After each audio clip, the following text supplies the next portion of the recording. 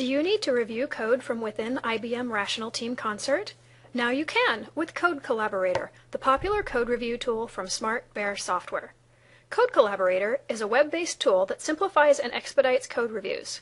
Now you can do peer code review from within Eclipse or from within the Rational Team Concert IDE, where Code Collaborator automatically detects changes in your code, lets you easily send files for review, and tracks defects to ensure that they're fixed.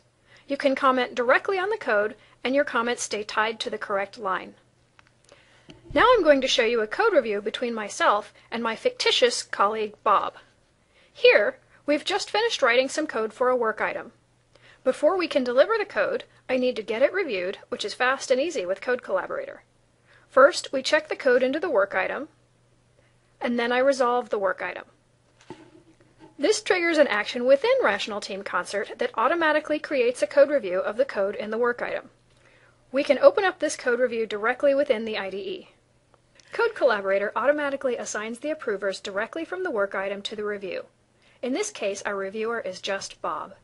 We could also add additional participants or edit other information about the review, but today we will simply click the Begin Review button to start the review. Now we will switch over to Bob's screen. As Bob, we have chosen to use Code Collaborator's web-based user interface to perform the review.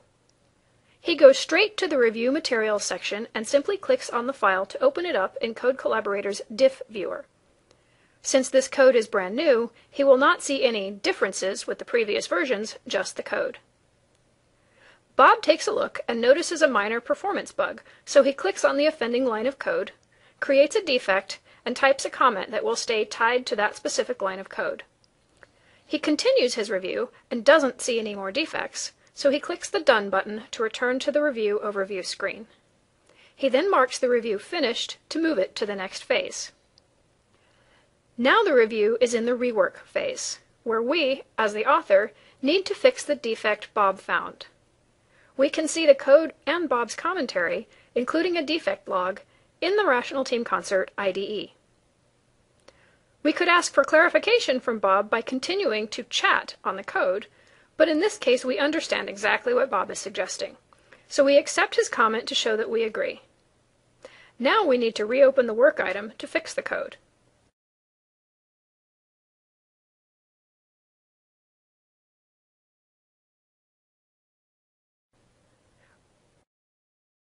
When we are finished making the changes, we check the code into the work item in RTC. We need to get Bob involved to verify our fix, so we resolve the work item again.